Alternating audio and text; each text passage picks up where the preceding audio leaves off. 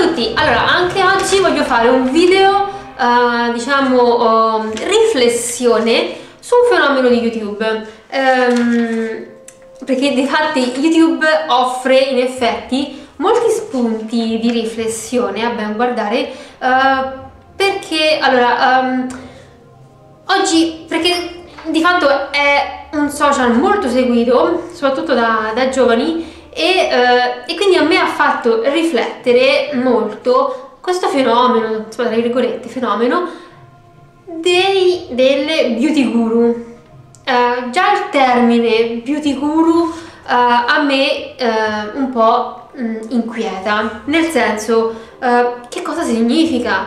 Cioè, chi è che decide che in un certo momento una persona diventa una beauty guru? Mm, cioè, come si fa a definirsi beauty guru? Cioè è una definizione così, secondo me, molto molto vaga che dietro di per sé non ha nulla di concreto. Um, è solo magari il fatto che una persona ha la fortuna di trovare magari eh, in un certo momento un certo seguito di, di, follower che quindi la seguono e um, e uh, acclamano ogni cosa che questa persona dice uh, o fa e quindi sono pronti a seguire ogni sua parola, ogni suo consiglio alla cieca. E quindi secondo me cioè, questo porta quindi la comunità a riconoscere che quella persona, quello youtuber diventa un beauty guru, una beauty guru. Um, però di per sé no? a me sembra tutta questa cosa veramente molto poco concreta. Cioè, dietro a questa definizione non c'è nulla di concreto. Oh, sì, c'è qualche video, mm, il lavoro che c'è dietro a un video, ma mm, tecnicamente, materialmente, io non vedo nulla di concreto. Um, quindi è, diciamo, una fama, un successo che arriva all'improvviso, no? E che però a me spaventa, nel senso che così come arriva all'improvviso e così come appunto non è qualcosa di materiale, eh, dietro non c'è qualcosa comunque di concreto, un titolo, un riconoscimento ufficiale, può quindi sparire anche all'improvviso, secondo me. Eh, perché di fatto eh, la volontà, eh, il gusto del pubblico è qualcosa di molto volubile, cioè oggi ti amano ma basta che fai un passo falso e domani non ti amano più. E, e si sa che quando poi qualcuno inizia a fare una cosa tutti lo seguono eh, quindi se qualcuno eh, so, dice qualcosa di, di sbagliato e viene quindi attaccato, sempre più gente l'attaccherà perché si crea appunto questa catena. E infatti a me ha fatto molto per esempio riflettere, da poco sono andata a vedere il film e sono tornato, quello su Mussolini, che fino a un certo punto uh, Mussolini era acclamato da tutti, no? Tutti lo volevano, tutti lo cercavano, ehm, tutti gli stavano dietro. Poi a un certo punto un giorno uccide un cane e questo filmato lo vedono tutti in televisione boom, all'improvviso da quel momento in poi tutti invece lo odiano, tutti lo detestano, tutti non lo vogliono più e questo è emblematico perché in effetti fa, fa capire come eh, la gente ti segue e segue appunto magari la massa però a un certo punto basta poco che non ti seguono più. Quindi ora mi sono fatta degli, degli appunti perché stamattina ho buttato giù qualche, eh, qualche idea. Un'altra riflessione che mi viene a proposito appunto di questo lavoro di beauty guru, eh, di mh, mm, tra virgolette esperte di make up, di, di, di vita, perché appunto mm, sembra che quello che dicono queste persone sia oro colato, ma si può veramente considerare come il lavoro della vita, cioè quello che eh, faccio oggi per poter comunque poi stare bene anche eh, dopo, quando sarò vecchio non potrò più lavorare. Cioè, non lo so, perché io lo vedo proprio come un qualcosa che può durare qualche anno, ma non può durare per sempre. E eh, proprio perché eh, i social di per sé sono uh, una moda secondo me e quindi come le mode passano. Quindi ciò che oggi è popolare uh, è seguito su un social uh, tra qualche anno ma molto pochi anni molto brevemente a breve magari non sarà più così. Passerà di moda arriverà un nuovo social e quindi non lo so io non, lo, non, riesco a vederlo proprio come il lavoro della vita e mm, ed è anche molto pericoloso secondo me, inquietante quasi, vedere proprio uh, gli adolescenti, perché sono appunto comunque di fatto loro quelli che più, di, più, più che altro appunto idolatrano questi, questi beauty guru, uh, questi youtuber, che uh, appunto stanno lì proprio in adorazione, basta leggere appunto i, i commenti.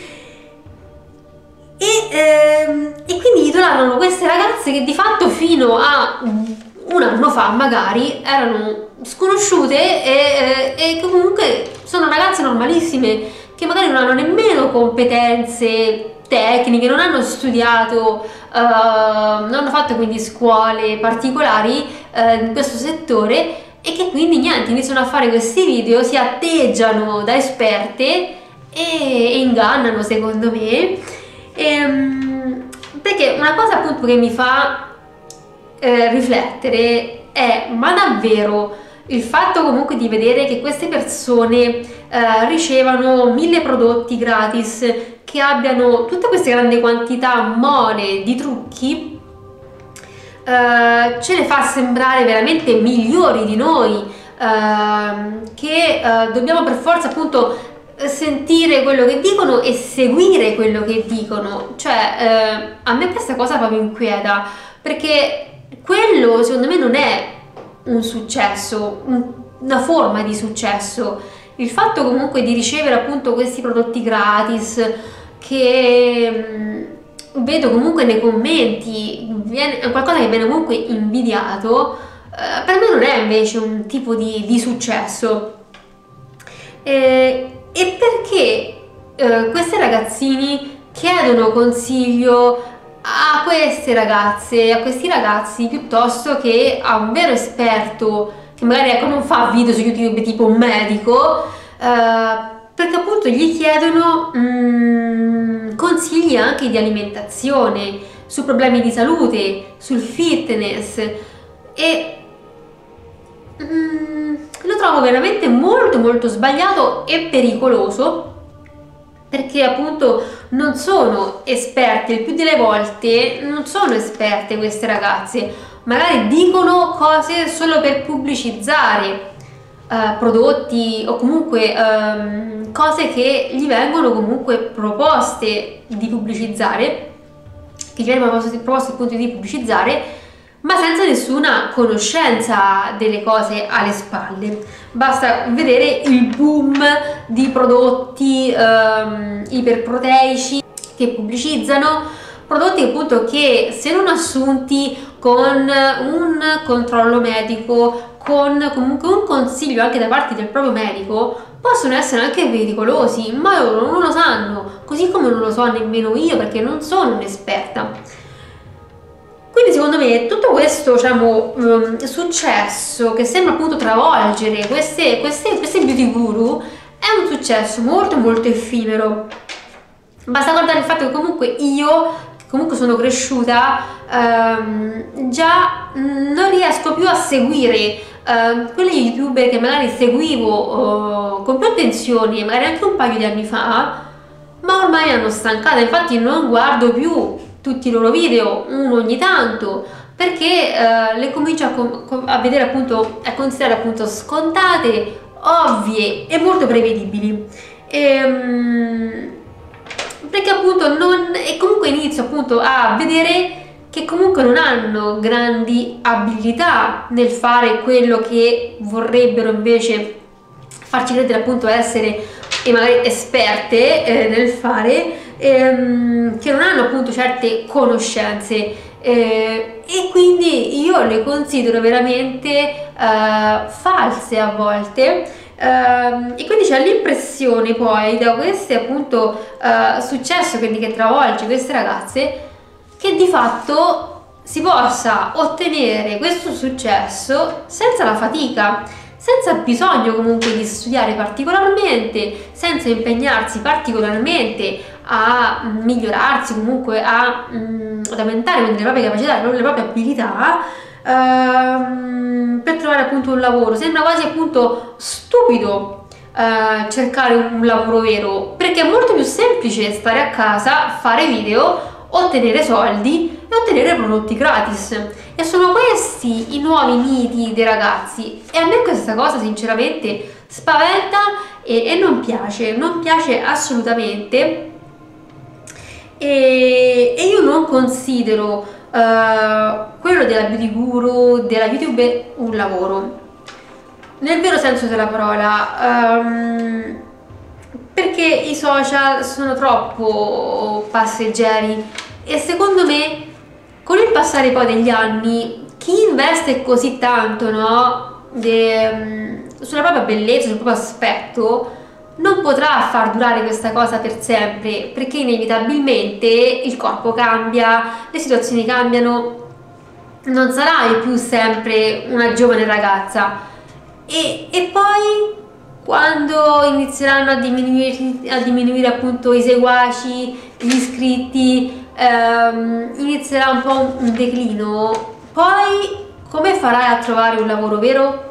Non lo so, um, oggi mi andava di condividere con voi queste mie impressioni su questo mondo perché um, a me dà da pensare da pensare il fatto che questi personaggi possano essere appunto dei miti, uh, degli idoli da seguire, uh, invece che appunto che magari chi uh, è più nascosto, è meno famoso magari sui social, ma che si impegna molto in quello che fa.